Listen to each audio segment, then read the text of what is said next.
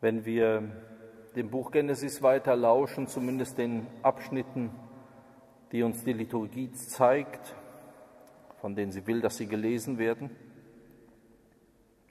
dann sehen wir, dass es hier bis in die biologischen Eingriffe,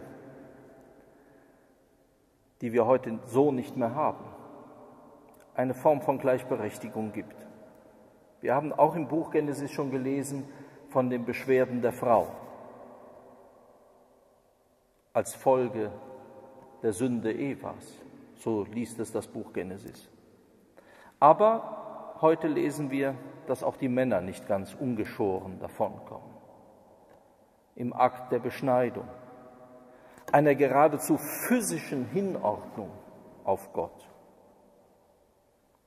Wir wissen natürlich als gute Christen, die wir sind, wie Paulus sich gegen diese Biologie der Religion wendet und sagt, das ist eigentlich nicht mehr notwendig, dieses alte Bundeszeichen am Leib zu tragen. Aber wir wissen auch, dass es in der Zeit des Paulus zunächst noch zu großen, großen Missverständnissen und Kämpfen führt, weil man sich doch endlich dazu durchgerungen hat und bekannt hat, das ist doch geradezu unser Kennzeichen der Zugehörigkeit zu dem einen und einzigen Gott. Unser Text aus dem Buch Genesis erschöpft sich aber nicht in diesem äußerlichen Zeichen. Paulus wird später sagen, ihr sollt nicht am Fleisch beschnitten sein, sondern am Herzen müsst ihr beschnitten sein. Und so sind es immer diese unterschiedlichen, zunächst, wenn man das auch mehrfach hört, diese etwas verwirrenden Erscheinungen und Gespräche zwischen Gott und Abraham, in den unterschiedlichen Gestalten auch.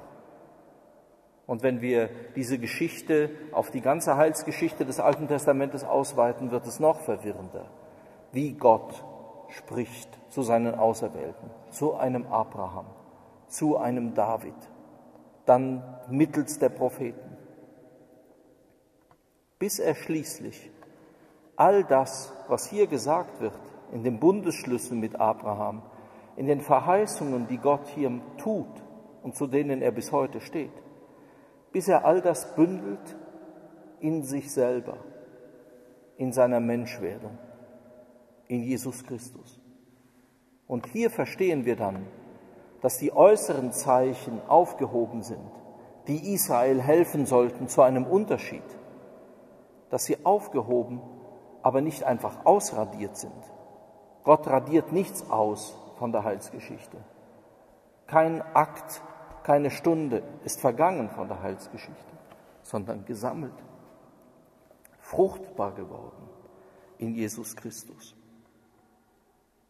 Die Fruchtbarkeit, sie gilt bis heute, eine geistliche Fruchtbarkeit. Wenn wir uns denn immer unter dem Himmel Gottes wissen, unter dem offenen Himmel, wie einst den dieser in die Jahre gekommene Abraham,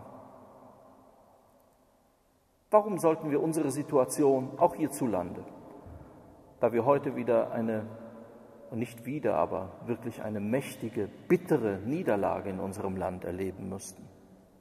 Eine der bittersten vielleicht der Nachkriegsgeschichte. Warum uns nicht mit Abraham unter den offenen Himmel der Verheißung stellen? Diese Verheißung ist nicht aufgehoben. Wir stehen heute da, ziemlich blöd aus der Wäsche guckend, vielleicht nur mit halbem Herzen, zumindest wenn man das für die Gesamtheit der kirchlichen Öffentlichkeit sieht, nur mit halbem Herzen oder nur mit einem weinenden Auge. Ich wollte nicht wissen, wie viele in der Kirche hinter vorgehaltener Hand genau den Beschluss des Bundestages heute bejahen zur Ehe für alle. Wir sehen das ja an Parteien, die das große C noch wie eine Monstranz vor sich hertragen und wenn Sie sich die Abstimmungsgrafik anschauen im Deutschen Bundestag, dann sehen Sie, dass auch da die Reihen ziemlich licht sind. Was soll dieses C eigentlich in diesem Namen noch? Man fragt es sich.